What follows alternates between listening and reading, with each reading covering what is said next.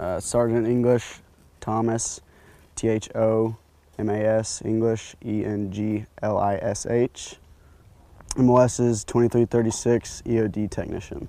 Okay, yeah, so today we just uh, went out there and uh, did some operational area clearance. Uh, basically, we just go out there and check the, uh, look around for any unexploded ordnance, and uh, when we find something, uh, blow it up. Uh, it's generally just used to dispose of and destroy stuff by detonation, um, but mainly just to clear saturation levels of UXO on ranges uh, so people can still use these ranges without it being too oversaturated with UXO. Uh, so as a whole, we're a response force. Uh, we respond to uh, any UXO threats, uh, weapons mass destructions, IEDs, basically anything with explosives.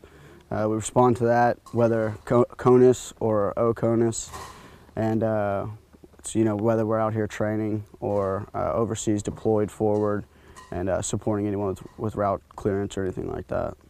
Uh, so for MRF-D, we're more here for a training support, uh, training and support uh, like asset.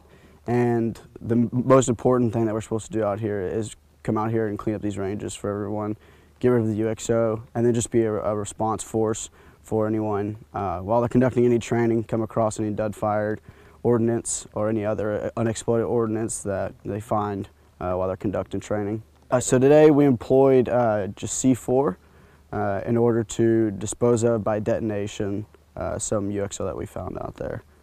generally for that what we did today, we just set up some mainline branch lines. There's a technique we use to dispose of multiple ordnance at once and we, we did that uh, today with C4 and some det cord. Uh, so in the event that something like that does occur, uh, where we have to uh, pick up and, and, and, patrol or uh, move forward, um, we have a pretty essential and, and, unique piece of that as far as uh, what we bring to the table, whether it's you know escorting people around and when they encounter UXO or, or any IEDs, depending on the level of threat or the peer that we're going against. Um, we could clear that, or also we bring some new stuff to the table as far as like exploitation and how advanced we are getting with that. Uh, so if we do need to come across any uh, ordnance or, or anything like that, uh, we've had we all had a pretty pretty well, or we've all been pretty well trained at uh, how to exploit new stuff that's never been seen before, especially if it's peer to peer. Um, uh, so we'd be able to go in and and uh, take that stuff apart and figure out what they're using to to beat us basically.